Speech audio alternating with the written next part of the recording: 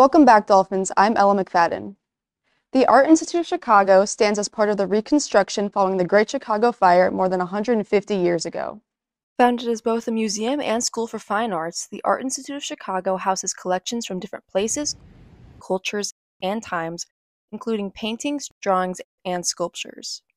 The Institute showcases more than 300,000 works of art, including works by Pablo Picasso and Vincent van Gogh. Impressionism, contemporary, and arts of the Americas remain some of the most popular styles on display. Both the museum and School of Fine Arts are internationally recognized as the leading fine arts institutions in the United States. The Institute continues to expand, bringing in new art, including touring exhibits like the Picasso Drawing from Life current display.